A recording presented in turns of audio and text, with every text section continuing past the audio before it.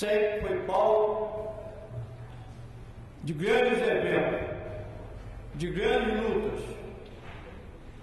Aqui, esta casa sempre escreveu as grandes histórias e continua até o dia de hoje fazendo a sua história com a criação desse grande evento hoje sobre a anistia.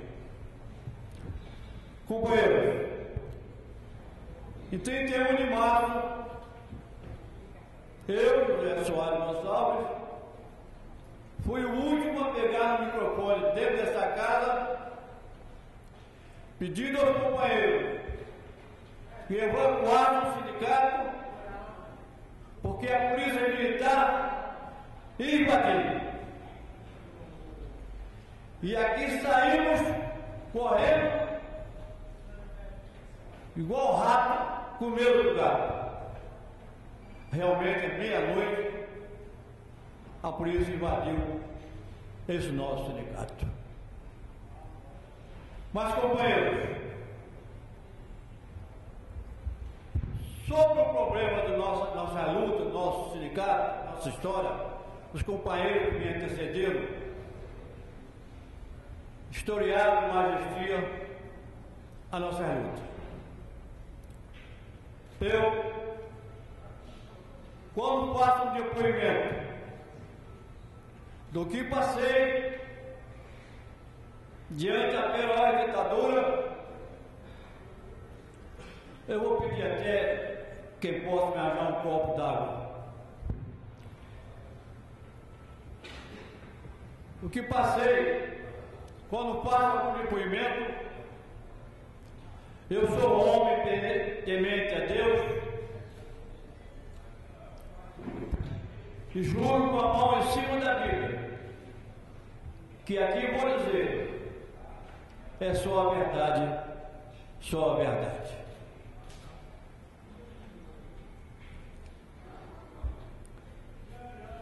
Dia 7 de abril, já com o golpe consolidado, recebemos ordem de voltar ao trabalho.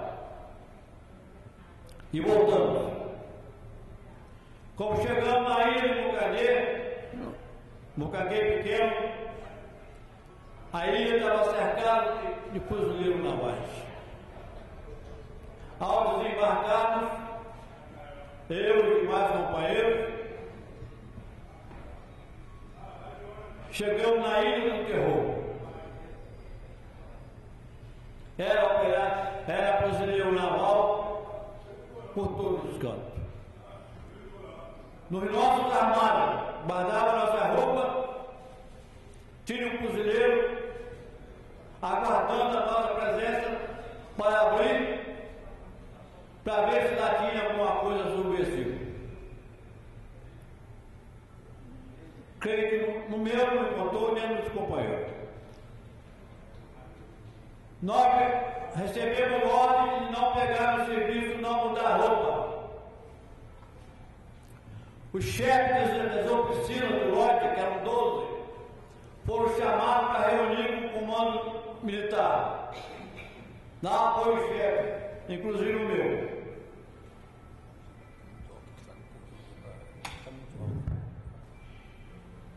Quando foi, mas 11 e meia, acabou a reunião.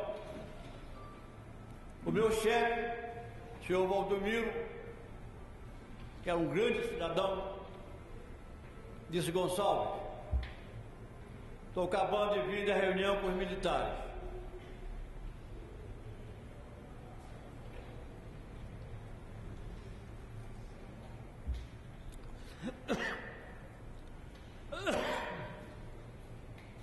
Você está preso e está sob sob minha responsabilidade.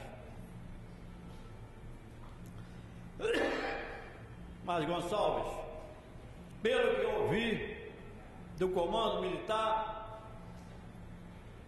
eles vão te tirar as calças pela cabeça. Você é o mais pisado da ilha. Mas não vão querer que isso aconteça. Vou assumir a responsabilidade, dizia meu chefe. Vamos esconder você no navio e de madrugada viemos te buscar. Eu digo, não, Valdomiro, eu agradeço, mas não vou aceitar. Gonçalo, pelo amor de Deus, digo, não vou aceitar. E não aceitei. A ordem dada pelo microfone, às 15 para as 4, apanhar as barcas, o navio para voltar à terra, todos com a carteirinha na mão, funcional ou identidade. Eu sabia que eu estava preso, eu fui um dos últimos. Quando eu cheguei na roleta para sair, tinha um oficial, disse para a guarnição, esse é um dos nossos. E fiquei do outro lado, já tinha companheiro Vilela e companheiro Edmar. De quase 4 mil operários, tinha três presos. Quando o nosso navio saiu, distanciou-se, eles mandaram que a guarda se recolhesse e botou eu, companheiro de mar, companheiro Vilela, num paredão.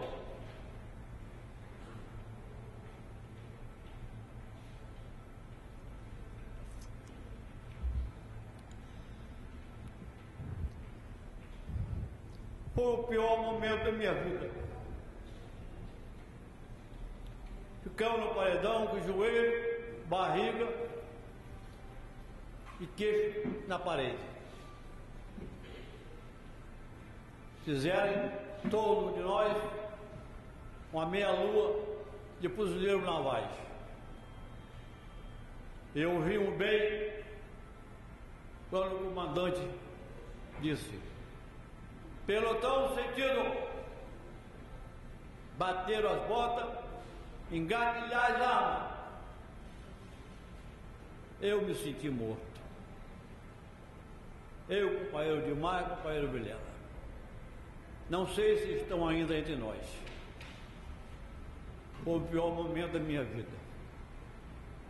Mas não passava de um de uma de um golpe psicológico assim da gente. Daí, passaram para o segundo, todos nós com as calças riadas. Nos jogaram dentro de uma lancha, fomos para o campo, centro de armamento da Marinha. Chegamos lá umas 10 horas da noite novamente zero no, no paredão. Aí eu achava que eu ia morrer mesmo, porque eu estava dentro de uma área militar, que não tinha mais ninguém. Mas a mesma coisa, aquela tragédia psicológica em cima da gente, tortura. Daí nos levaram para Dopes de Niterói.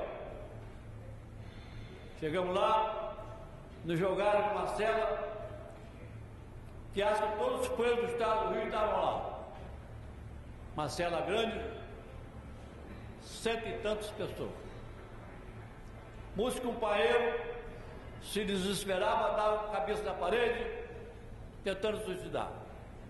Se tem algum aqui que lá teve, sabe disso. Se quisesse beber água, era água do vaso. Era água do vaso. Dali, fui transferido para o campo. Lá no morro, na presídio no campo. Ficamos lá uns dias, viemos para o Caio Martins. Fiquei vários dias no Caio Martins. E o Tive no Caio Martins vários dias, inclusive tinha uns artistas no Caio Martins e encenaram lá uma peça, a, a, Irmão de Eurites. Eu, até eu tomei parte dessa, dessa cena também. Daí, Recebi ordem, fui solto 23 de maio para voltar ao trabalho. Voltei ao trabalho. Fecha dos companheiros o meu regresso. Eu era na época delegado sindical geral da ilha, setor do Lloyd. Passei a ter conhecimento que vários companheiros estavam depondo na Marinha, de dois a dois. Aí eu conversei com os companheiros, não, Gonçalo, nós vamos lá, dar um depoimento e voltamos. Tudo normal. Chegou meu dia também. 10 de junho de 64. Lá fui eu, eu e outro companheiro. Cheguei lá, o companheiro pôde depor na minha frente, eu fiquei na da sala de estado. A meia hora depois o companheiro saiu, bateu a mão para mim. Tchau, Gonçalo, tchau. A mesma guarnição que ele me levou. Segundo ou terceiro andar. Quando eu botei a, o pé na porta para entrar na sala, levei uma exposição de um bandido de um oficial que me jogou em cima de mesa, cadeira, Aí eu vi que, que eu estava em desgraça. Isso eram as nove horas da manhã.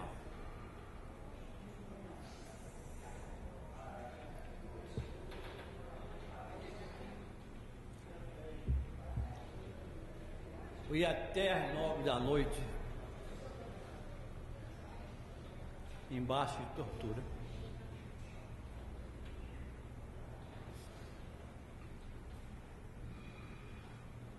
Quando chegou uma hora da tarde, mais ou menos, eles foram almoçar. O sargento que estava na máquina disse, é meu amor, você está frito com esses homens. Aí eles me disseram, ó, oh, janela está aberta. Eu não sei se era o segundo ou terceiro andar. Se quiser ir embora, pode ir eu vi que ele estava me induzindo ao suicídio.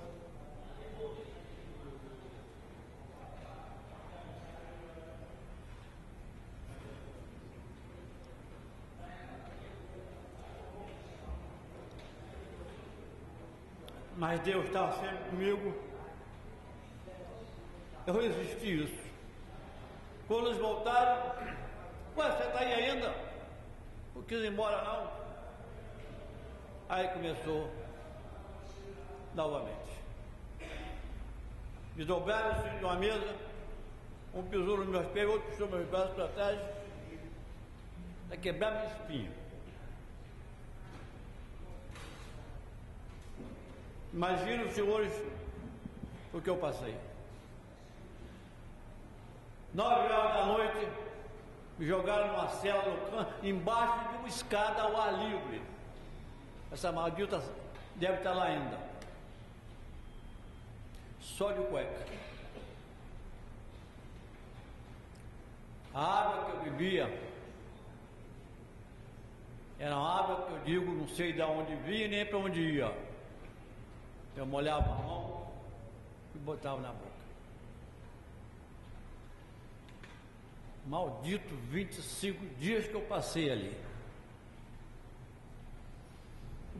Minha família levava as coisas para mim comer. Maldito carcereiro, tenente Zé Maria. Só me dava quando estava cheio de bicho. Dizia, ele era apanhoso. Aí que sua família toda você comeu.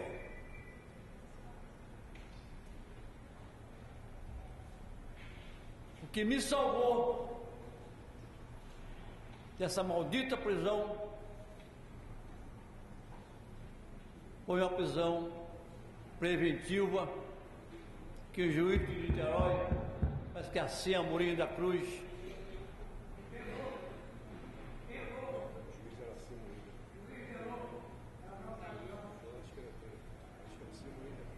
Mourinho da Cruz. decretou minha prisão preventiva.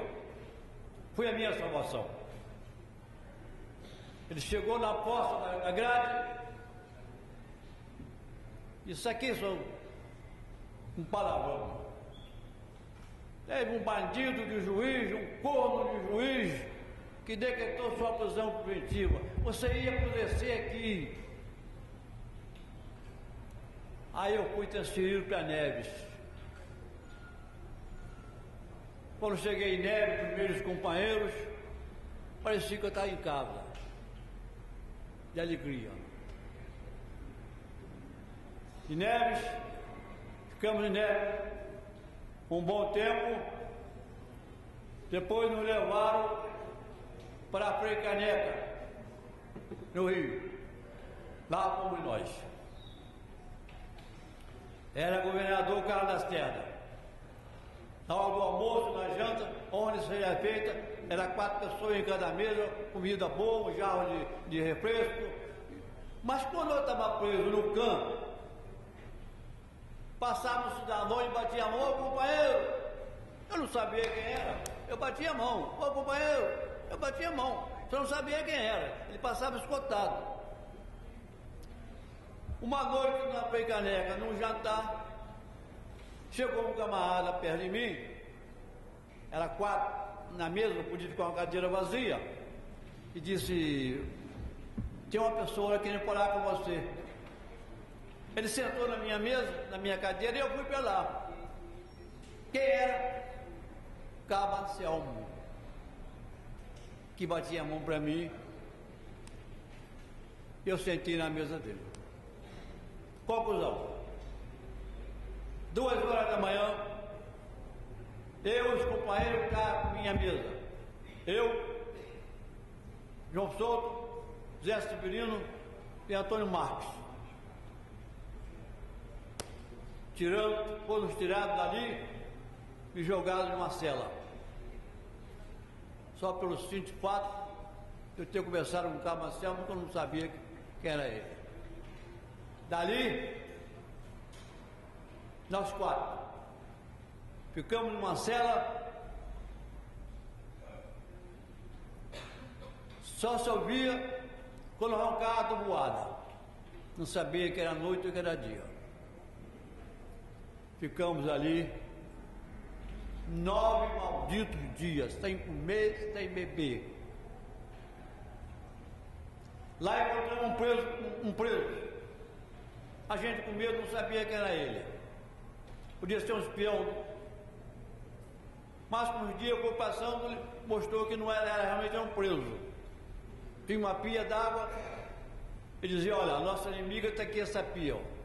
Se beber água pela sede que der, vai dar barriga d'água. E não deixava nos beber água.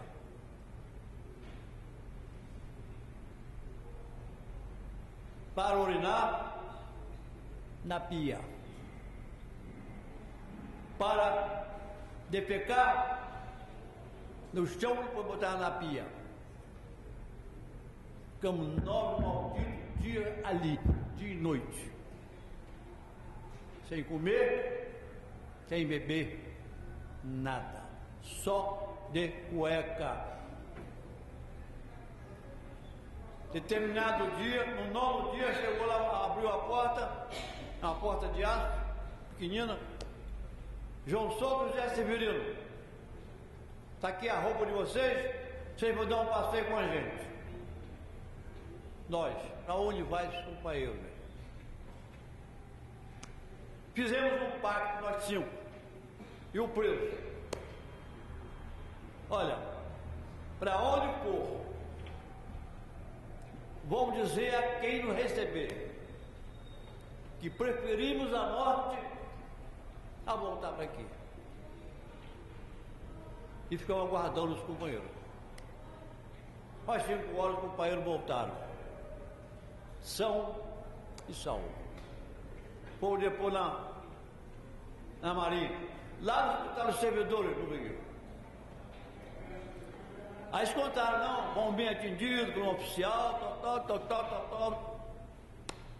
Bem, Aí, no outro dia, eu e João Souto, Fomos lá. Ao entrar no corredor, minha família estava num canto assim. Não sei como descobri que eu estava lá. Quis me dar comida. A guarnição não deixou. Aliás, deixou o meu irmão me dar dois ovos.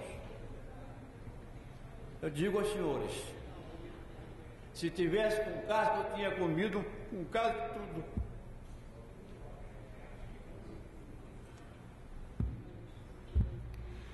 De tanta fome. Mas, quando o companheiro sabia que eu ia lá e ia voltar, eu consultei os companheiros.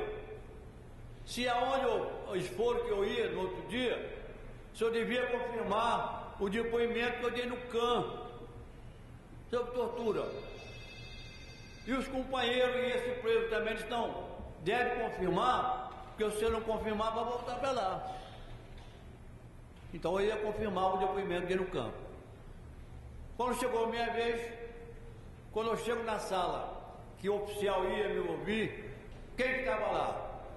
Um dos bandidos no canto que me torturou. Aliás, eram três.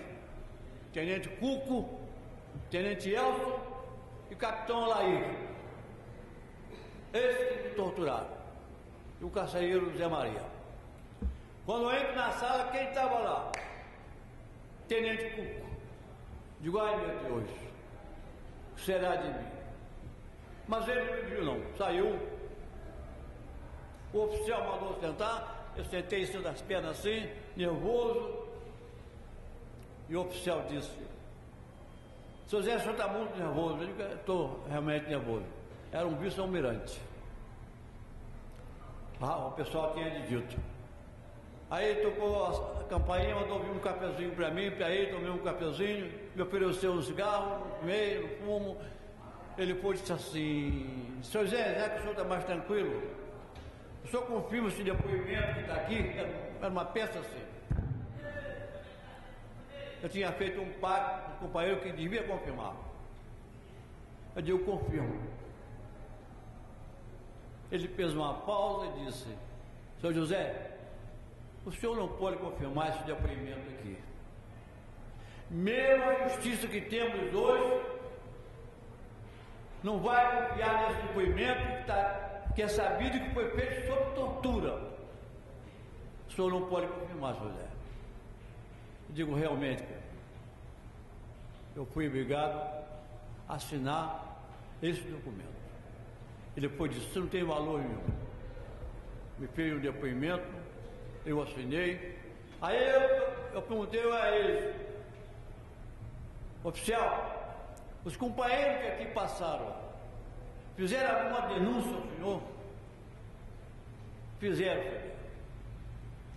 que vocês preferiam a morte a voltar para lá.